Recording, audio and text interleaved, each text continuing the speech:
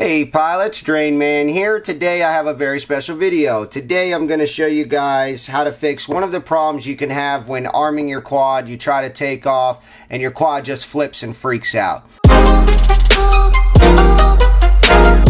There's multiple reasons that that could be happening. I'm going to go over some of them real quick. And one of the reasons is your motors are spinning in the wrong direction. If that's happening, then you're going to need to go into BL Heli and turn your motor direction the other way. Uh, that is assuming that you have BL Heli firmware on your ESCs. Another possible scenario is that your flight, uh, your flight controller is in the wrong orientation and you can do that by opening up Betaflight and going to the setup tab and lifting your quadcopter up like this. If you lift up like that and your quad is not going forward, right? So I lift up forward and it's actually leaning backwards or I turn to the right and it's not doing that. So you see here, this is how I can check that my flight controller has the correct orientation. So I know that that's not the problem. I checked my props, they're all in the right direction. I've checked my motors, they're all in the right direction. One thing too is to go right here and check, make sure which direction you're supposed to have. So I run reverse props and that's why this is set up like that and my motors are spinning outward, just like the arrows show right here. So now I'm at my next issue. And my next issue is what could possibly be wrong? Well, this is a brand new build, so possibly something's wrong. Maybe the firmware's bad, who knows? So I ran through a couple possible scenarios and what I did find out is I found out that my motors are mapped in the wrong direction. And now, what that basically means is when I installed my ESC onto my onto my quad, I shifted it and turned it about 90 degrees. And the reason why is because my XT60 would have been in the wrong direction and the way that my connector pin that runs from the ESC to the flight controller, the wires were not long enough. So it put me in a bad situation and I didn't even pay any mind to it. I, I totally forgot about it. I just put it together and put it out. And possibly you've done the same thing. And if you have, you need to change where your motors are in order for Betaflight to understand that. So right here in Betaflight, you'll see this is motor 1, motor 2, motor 3, motor 4. So if your flight controller thinks that motor 1 is really here, but your motors are actually somewhere else, when it tries to power up 2 to shift you backwards a little bit, or 2 and 4 to tilt back, or 1 and 3 to lean forward, and those aren't the ones that spin up, your quad will freak out and just spin out of control. So I was able to find out what it is and now I'm going to show you guys how to fix that. So the very first thing we want to do is want to go into the motors tab and you want to agree that you understand and then you want to power up your quad. So now I've powered up my quad and if I go ahead and spin up one at a time, you'll see that this motor is spinning. You can see by the green lights, that's a very good indicator to show you which one is spinning. Now, 2 is supposed to be right here. We're going to spin up 2. And as you can see, it's not in the correct spot. Let's check 3. 3 is also not in the correct spot.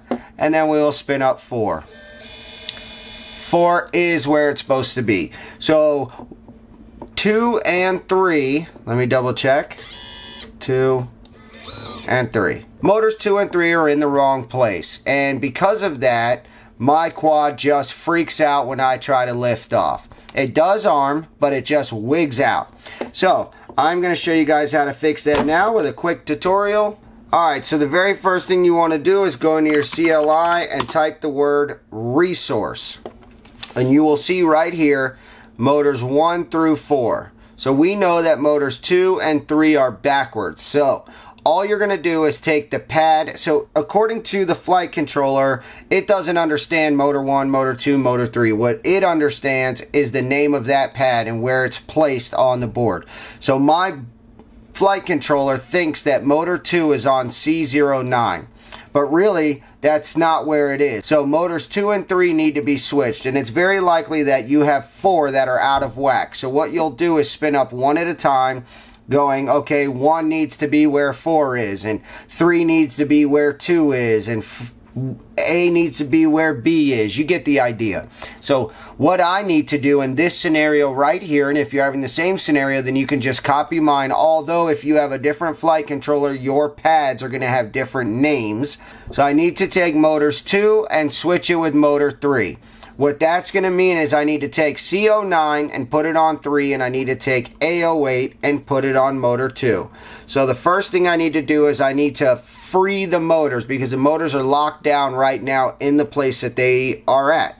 So in order to do that, you're going to type resource motor 2 none.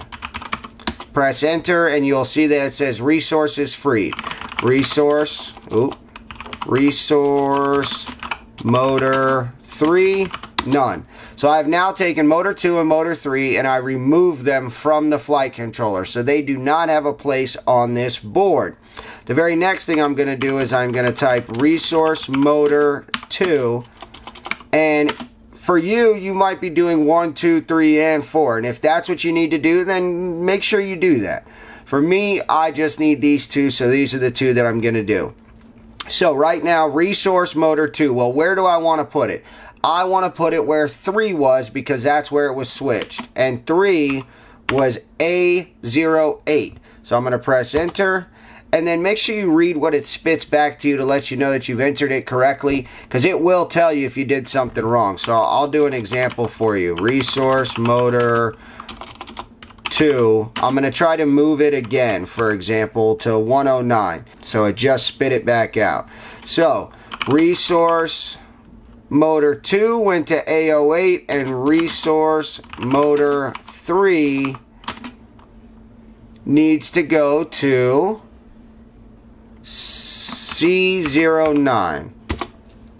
Oh, right away we see that that is incorrect. So we need to go resource motor 3 to resource motor 3 and we need to put it where motor 2 was. Motor 2 was on C09. So we're going to press if you notice that it gave me an error. And what that error is is that I typed resource wrong. I put R-E-S-O-U-R-E -E. there's no C. So it, you can see clearly that if you mess up it's going to let you know that you did something wrong just like I did when I hit resource motor 109 it didn't understand that. So it was letting me know. Make sure you hit an index that's in between 1 and 8 so now that we've set resource motor 3 to C09 we have now switched. As you can see we took motor 2 and motor 3 off and we put them in their new location. We basically just switch them. And you always hit save. And it's going to save and reboot. And now we will go to the motors tab and I will power it up. And I'm going to check to see if I have fixed my motors. So, one is where one is supposed to be. As you can see, indicated by the LED. 2 is where 2 is supposed to be, indicated by the LED. 3 is in the correct place. And 4 was in the correct place already. Now you guys know how to resource your motors. I don't know if I did that good and showed you guys properly and you guys completely understand. And hey, Drain Man, thank you. I understand now. I can do it myself. Or if this wasn't explanatory enough, I did not want to drag out a 10 hour video just to show you how to do something real quick. As you can see, it's not very difficult. Hopefully you guys were able to grab that. Let me know if uh, you have more questions or something. Drop down in the comments and I'll show you guys or I'll explain anything that you need explained better. I want to thank you guys for tuning in and I'll see you on the next one.